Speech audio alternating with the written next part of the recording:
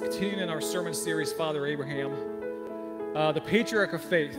And the reason he's called the patriarch of faith is because, as I've been saying, the New Testament writers hold him up as the model of what faith in Christ should look like based upon all the way back in Genesis, the, the example of, of Abraham. And last week was a pivotal chapter that we talked and preached about, chapter 15, where it says that, that God took Abraham, Abram out and had him look at the stars and say, Count the stars if you can, so shall your offspring be. And Abram believed God, and that was credited to him as what? Righteousness. That's right. His righteousness was based upon his believing God, taking God at his word, not based upon his good works, not based upon how much money he had, not based upon anything other than the goodness of God. And, and so that was, I just love that, that sermon. That was more of a theologically based sermon. Today's more of a practical type sermon. You know, and I love, I love preaching both those types of sermons. Because two weeks ago, I, I said something really important, and I want to I wanna reiterate it. Two weeks ago, I, I said that one of the most vulnerable places you can be spiritually is when you're coming off of a spiritual mountaintop experience with God. You know, you go to a men's retreat or a women's retreat, or you go to a couples retreat, or you go to some seminar, you know, or something, and you come back, you're just really, really pumped for God, right? You have making God all these promises. It's then that you're really vulnerable because you come back to the same problems, you come back to the same issues that you've had before, you come back to the same problems in your marriage, same problems in your finances, same problems at work. And a lot of people, they come off those spiritual mountaintop experiences with a thud, okay? So that's, that's, that's, uh, that is how it can often be. And that's exactly, as we're going to see, that's how it happened with Abram. In chapter 15, Abram has this mountaintop experience.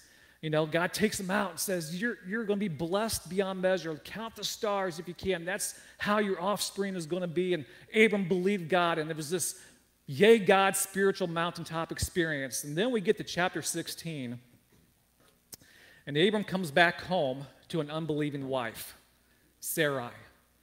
She doesn't share the same faith. God hasn't revealed himself to her like he has to, God. And so he comes back to her after experiencing this mountaintop experience and she's full of doubt, right?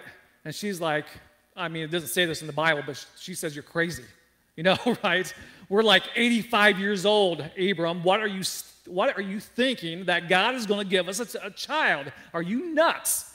And he started thinking, Yeah, maybe you're right. Yeah, maybe, maybe you're right. I am 85 years old. Maybe, maybe you're right, Sarai. And so we get to chapter 16, and he has this coming down off this spiritual top of mountain top experience, and he comes down with a thud and, it, and he makes the worst mistake of his life, one that the, the, the consequences of are still being felt today. And I'll talk about that in a little bit. And so, so let's read, uh, let's read chapter 16, verses 1 through 18, I believe it is. And this, this is Abram's failure because he was influenced by his unbelieving wife. And it says this Now, Sarai, Abram's wife, had borne him no children, but she had an Egyptian slave named Hagar so she said to Abram, The Lord has kept me from having children. Go, sleep with my slave. Perhaps I can build a family through her.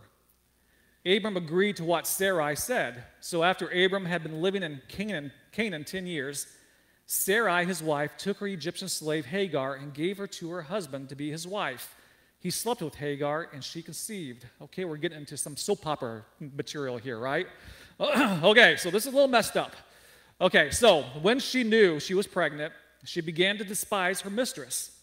Then Sarai said to Abram, You are responsible for the wrong I'm suffering. I put my slave in your arms, and now that she knows she's pregnant, she despises me. May the Lord judge between you and me. Your slave is in your hands, Abram said. Do with her whatever you think best. Then Sarai mistreated Hagar, so she fled from her. The angel of the Lord found Hagar near a spring in the desert. It was a spring that is beside the road to Shur. And he said, Hagar, slave of Sarai, where have, where, where, have you, where have you come from and where are you going? I'm running away from my mistress Sarai, she answered. Then the angel of the Lord told her, Go back to your mistress and submit to her.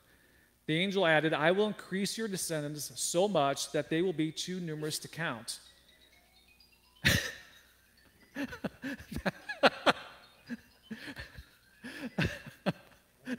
yeah. That's almost like one of those cartoon special effects, you know? That was great. I'm sorry. uh, okay, where was I? Okay. Uh, the angel of the Lord also said to her, You are now pregnant, and you will give birth to a son. You shall name him Ishmael, for the Lord has heard of your misery. He'll be a wild donkey of a man. His hand will be against everyone, and everyone's hand against him, and he will live in hostility toward all his brothers.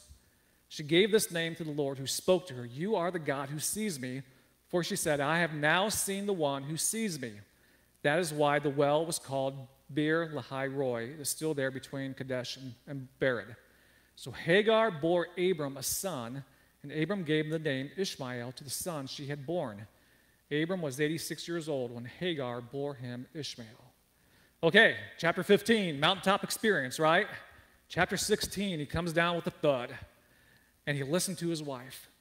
And uh, I, talked about this uh, when I think when I first started this sermon series. Sometimes faith is like a, you know brand new horse that comes out of its mother's womb and it's on these wobbly legs, you know, and over time it gets stronger and stronger. Well, sometimes we have setbacks as well, you know, spiritually speaking, and we, we start getting a little wobbly with our faith. Abraham, Abram got wobbly with his faith. Uh, and so today's going to be what about weak faith you know, what weak faith looks like. We all have our moments when we have weak faith. And, uh, and so there's, there's four principles that I see in here about weak faith uh, as, as revealed in, in this, this, uh, this story. And here's, here's the first one weak faith is short sighted. Short sighted. Abram, we're 85 years old. What are you talking about? You right? What do you mean we're going to have kids? That's crazy. So here, take my, my Egyptian slave Hagar. You do your thing with her. And he did, and she got pregnant, okay? They were looking at the, the immediate problem at hand and forgot that God is bigger than any problem you might have, right? God is bigger than any problem you might have. And the tendency when we have weak faith is to want to take matters into our own hands. We want to, uh, we want to usurp God's control in our life. We want, we want to say, God, I can't, I can't believe that. I, I can't I can't wait for that, so I'm going to take matters into my own hand. That's what Abram did. And when you do that, you're always, always, always going to settle for second best, right? Um, years ago, I, I, worked with this girl named Jennifer, and she was actually a really, really attractive young lady. She was 27, and she'd never been married before, and this was bothering her. She thought by then that she would be married. And so she started dating this guy, and everybody who knew her was like, "Oh my word, what are you thinking? You know, why are you?" He was from a different. He was Muslim. He's from a different religion. I mean, so completely wrong for her. You know, and everybody was just like, "Why is she dating this guy?" Then she got engaged to him, and uh, up to that point, I kind of kept my mouth shut. You know, but when she got engaged, one day I was talking to her, and I just felt prompted to say something. And I said, "Jennifer," I asked her a question. I said, "Jennifer, um, I hear you're engaged. Is he God's best for you?" And when I said that, she kind of lurched back. You could, you could see it written all over her face that she knew the answer. You know, she knew the answer. In that conversation, she said something to me. She said, Rod, I'm tired of waiting. I'm tired of waiting. She was in a moment of weak faith. It was short sighted. She was looking at the, the current situation. I'm still single and 27. I never thought that would happen, so I've got to take matters into my own hands, right? How many people get into marriages that should have never happened in the first place because they're short sighted. Fortunately for her, thank God, uh, she came to her senses and she broke it off. But that's what, that's what weak faith is. It's, it's short sighted, and we see that with Abram right here. Short sighted. Faith never, faith, strong faith, never tries to force God to act. Strong faith never forces God's hand, it waits patiently for God to do his thing. And sometimes it's hard when the, the, the, the problems that we face the, the, the money that, you know, that the, the money problems that we face are bigger than what we think we can handle. But we serve a God who multiplies, right? And so there's a story in John chapter 6 where, you know, Jesus feeds the 5,000, okay? And, so the, the situation at his hand is there's more people than there's food. Uh, and so his disciples are like, you know, what are we going to do? We have to feed all these people. And this is what Jesus said. He looked up and saw a great crowd coming toward him. And he said to Philip, Where shall we buy bread for these people to eat?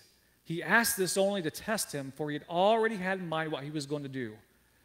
Philip answered him, It would take more than a half year's wage to buy enough bread for each one to have a bite. Another of his disciples, Andrew, Simon Peter's brother, spoke up. Here is a boy with five small barley loaves and two small fish, but how far will they go among so many? Because they were looking at the enormity of the situation, forgetting that they were standing in the presence of God who spoke creation into existence, right? He's the God who multiplies. And as we know that story, Jesus had no problem with that small amount, did he? He multiplied the fish, he multiplied the barley loaves because he's the God who multiplies. And sometimes when, when we're facing hardship, you know, money's tight, relationships are, are struggling with relationships, things are not going well at work, and we, we, we, we start to panic and we want to take matters into our own hands. That's the worst thing we can do because it's short sighted.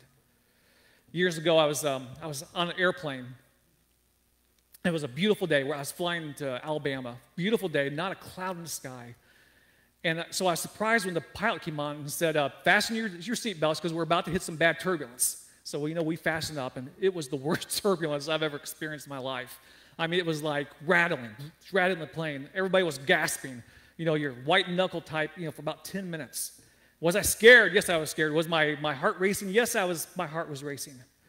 But not one time in that 10 minute period did I ever question the pilot. Because I knew that pilot was in control. You know, I knew that he knew what he was doing. I knew that he had been through that a thousand times before.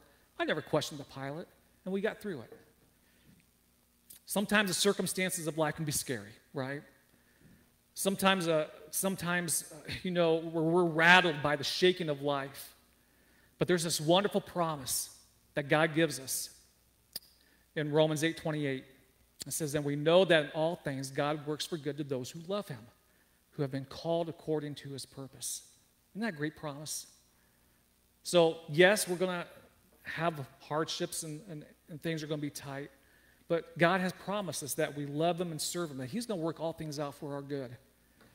I was 41 when I got married. Joy and I were 41. I, we could never imagine that we'd have to wait that long to get married, you know, but we're blessed today because we waited, waited on God. There's going to be another, uh, I'll, I'll just skip that. I'll skip that scripture. So, weak, weak faith is short sighted. And with Abram, it was very short sighted. Came off this mountaintop experience with God. He was believing. And then he came home to his unbelieving wife. And that was a problem because here's the next one weak faith is influenced by unbelievers. weak faith is influenced by unbelievers. Sarai, his wife, took her Egyptian slave Hagar and gave her to her husband to be with his wife. He slept with Hagar and she conceived. Like I said, soap opera material, right? Um, back in the 80s, there was this Christian artist named Carmen. Do you remember Carmen? He had, he had this song called the Soap Song. And, and, it was a song that mentioned all the soap operas of the day. And it started out like this Gone are the days of Leave It to Beaver, Matt Dillon, and the sidekick Festus. Now we rely on the immoral lives of those of the young and the restless. Isn't that great? This is like, this is soap opera material. Uh, and if I, if I saw, you know, Sarai today, I'd be like, why did you expect that would happen, you know? when you do when you pull a stunt like this. But, but the, the principle here is that weak faith is influenced by unbelievers. And clearly, Sarai did not share the faith of Abram. And that had a negative impact on Abram. And ladies, I'm not knocking women here. God says that God created women to help men, right, men? Amen to that? Uh, amen. I don't know where I'd be without my wife. But this case, not so much, right? Not so much. Sarah was kind of a negative influence on Abram, and he listened to her. He listened to her, and it had horrible consequences. This is what says in what Paul says in 2 Corinthians 15. Do not be misled. Bad company corrupts good character. Bad company corrupts good character. Come back to your senses as you ought and stop sinning, for there are some who are ignorant of God. In other words, stay away from people who are ignorant of God, who have a negative influence on you, because it can lead to bad things. Years ago, I had the best friend in the world. He and I spent eh, practically every day together. And uh, he was a musician like I was. We would lead worship together. When he was 32, he decided to walk away from the faith and got himself in, involved in, um, in a, a, lifestyle that was incredibly unhealthy and destructive and ungodly. And, and I was still hanging around with him, and he would try to influence me to, you know, to justify. It came to the point where I thought, man, I love this guy as like a brother, but I have to keep my distance because I can feel him pulling me down.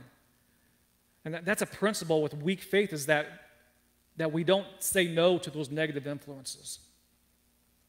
I don't think it's a coincidence that Hagar was an Egyptian. Let's go back to Hagar the slave. I don't think it was a coincidence that Hagar was an Egyptian. Because if you remember in chapter 12, Abram disobeys God and he goes to Egypt, right? And he passes his wife off as his sister, and she gets taken into the, the Pharaoh, another soap opera moment. And Pharaoh grabs her as his wife. He, he gives Abram a dowry and, makes, makes her, him rich because he thinks this is his sister, only for God to expose the whole scheme, and, and Pharaoh kicks Abram out, out, out of Egypt. So I think it's no coincidence that Hagar was the Egyptian because I believe she was one of the gifts that Pharaoh gave him. Okay? Instead of giving her up, he held on to her.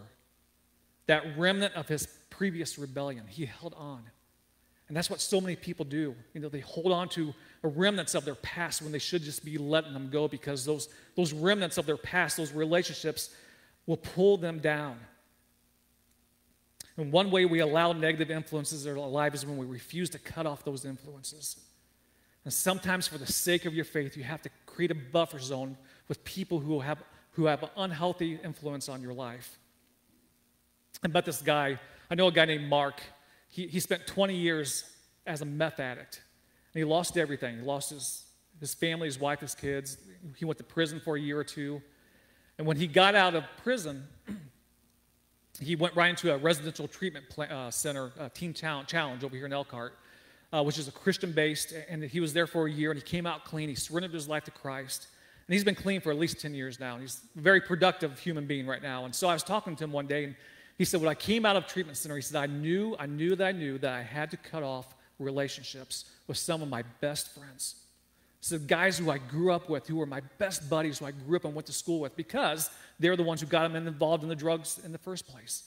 And he said, Rod, that was the most painful thing I've ever had to do. But I knew I had to do it.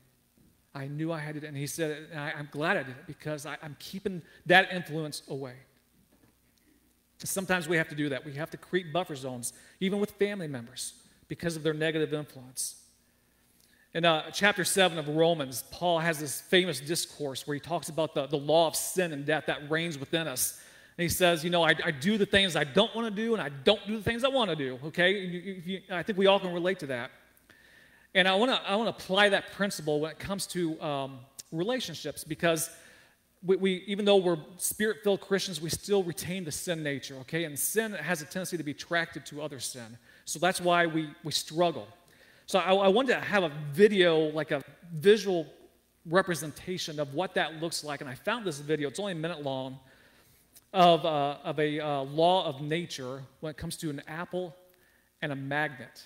And so I want to watch, I want you to watch this, like I said, just a minute long, and I'm going to talk about how this looks when it comes to relationships and our faith.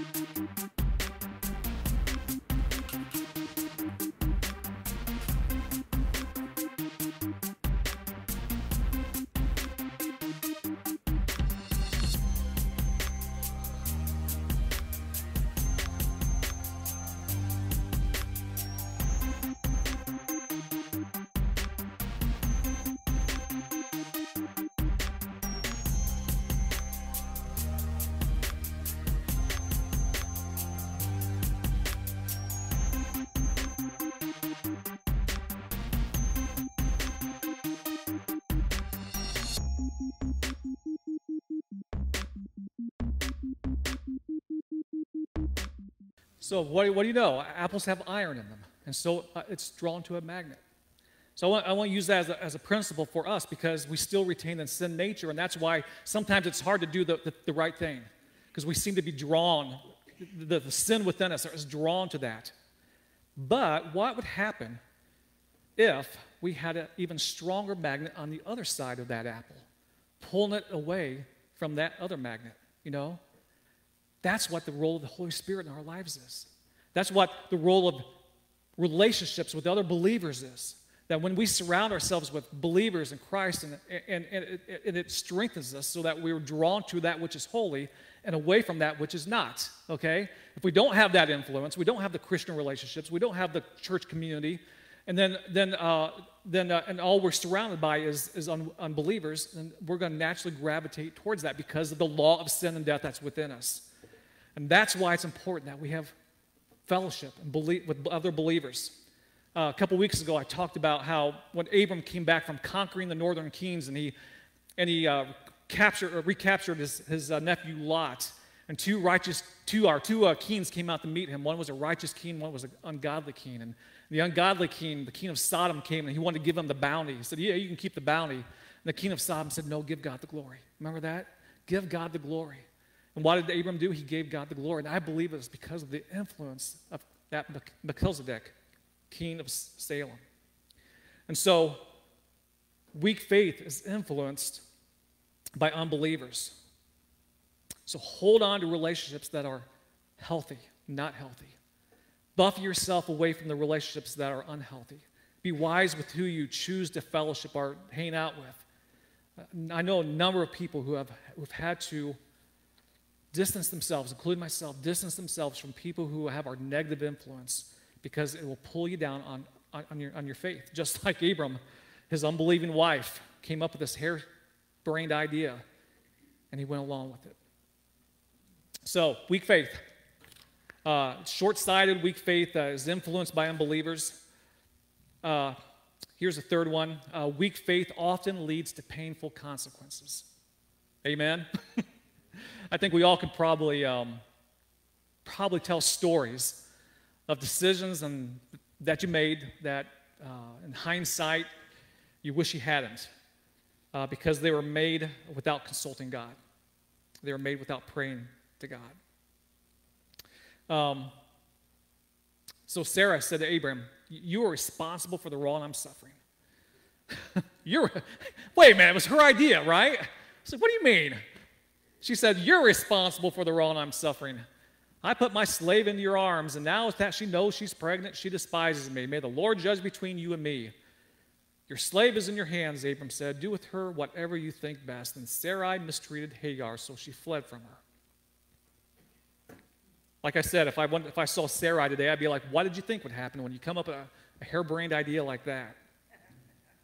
You know, it, it, creates drama, it creates chaos, and that's a, that's a wonderful principle. that When you, when you walk outside of the, the perfect plan of God, it's, it's going to lead to second, third, fourth best. It's, it's going to lead to chaos. It's going to lead to chaos. Um, especially a lot of people have plunged themselves into financial ruin because they didn't want to wait on God. And, then, and that's what Paul talks about in 1 Timothy 6. He says, Those who want to get rich fall into temptation and a trap into many foolish and harmful desires that plunge people into ruin and destruction. For the love of money is a root of all kinds of evil. Some people eager for money have wandered from the faith and pierced themselves with many griefs. So you can bring on yourself all kinds of grief and hardship uh, because you make decisions that are not based in prayer or based in the Word of God, but uh, they're foolish decisions because you want to get rich now, for example. Um, I had, um, I knew a, a couple years ago. They, they're involved. They're involved in one of those what I call pyramid pyramid schemes, you know, where you try to get people to buy stuff from you. And anyways, uh, so um, the th- thing with those pyramid schemes is that they, you know, the, the company sells you all these uh, how-to manuals and books and tapes that you listen to. Then you got then you got to go to all these conferences where they pump you up and tell you how much money you can make, and then and then uh, and so they were doing all this and putting it all on their credit card, okay, and so they ended up going bankrupt uh, because of all this. And so uh, they started again and did it all again. They had to go bankrupt a second time. What? Because they were trying to get rich, you know, and they're pursuing a, pursuing a, uh, a, a, rich get, get rich quick scheme. And so, uh, weak faith leads to painful consequences uh, in your own personal life, but even worse, it can lead to painful consequences and how it affects other people. You know, our, our, our uh, for instance, our foster system right now is full of children who are the, the victims of their parents, right? Because parents who for whatever reason, uh, are not good parents because of decisions that they have made and how it's affected other people. And, and so we see this with Ishmael. Let's go back to chapter verses 11 and 12. This is what God says about Ishmael. Uh, for the Lord, He says, You shall name him Ishmael, for the Lord has heard of your misery. Get this, he'll be a wild donkey of a man. His hand will be against everyone, and everyone's hand against him, and he will live in hostility towards all his brothers. So, sounds like a nice, swell guy, right? Okay? That's what God is saying about this product of a man who should have never been born. And what I want to highlight here is that this is so prophetic. This is such a prophetic verse because I said this at the beginning of this sermon series that there's three Abrahamic religions there's Christianity, Judaism, and what's the third one? What? Islam. Islam, uh, the Arabs trace their lineage to, to Ishmael. Isn't that interesting? And so it says, says, He will be a wild donkey of a man. His hand will be against everyone, everyone's hand will be against him, and he will live in hostility towards all his brothers. Does that sound kind of like the Islam today? Isn't that, isn't that interesting? That's, it's, it's like it's prophetic that Ishmael's descendants would take on that nature of, of being violent against other people. And I'm not saying all Arab people, there's wonderful Arab people in the world. Not all of them are like that. But there's a large segment of Islam that's violent and, and, and, and violent towards each other. It's just not outsiders, violent towards each other. So I, I see that as a very prophetic verse as to what God knew was coming. And so it affects other people. Uh, so that um, so that other people are affected. So weak faith does not disqualify us from, from God's promises, but God's promises do not shield us from living with the consequences of our mistakes and poor choices. So that's the third principle. Here's, here's the fourth one weak faith mistakes are redeemable. This is the good news. Okay, this is the gospel. Weak faith mistakes are redeemable. Then the angel of the Lord told her, Go back to your mistress and submit to her. The angel added, I will increase your descendants so much that they will be too numerous to count. Does that sound familiar? Because that's the exact same promise that God gave Abram. Isn't that amazing? This young man, this boy who should never have been born, who was conceived in, a, in, a, in an unholy alliance, God says, I'm going to bless him. And I'm going to increase his descendants. Just like the blessing that I gave Abram. What's that tell us about God? That he's in the business of redeeming bad situations. He's in the, he's in the business of restoring broken lives. So that even when we make these mistakes, there's, there's light at the end of the tel- tunnel when you're living with the consequences of what you've done. So many people have been born illegitimately and have gone on to do wonderful things. God has redeemed that life, right? My grandfather was born, my grandfather was born in 1900. He was uh, the product, I don't know the circumstance, but his mother was a 16 year old teenage girl the father was about 20 years older than that. He was in his mid 30s. Um, it was only until recently, the past few years, that we learned about who he was. He was a scoundrel. He was a drunkard. Uh, he was a man who left a number of illegitimate children behind. And from that unholy alliance came two gospel preachers, my father and myself. Okay? God can redeem the worst of mistakes.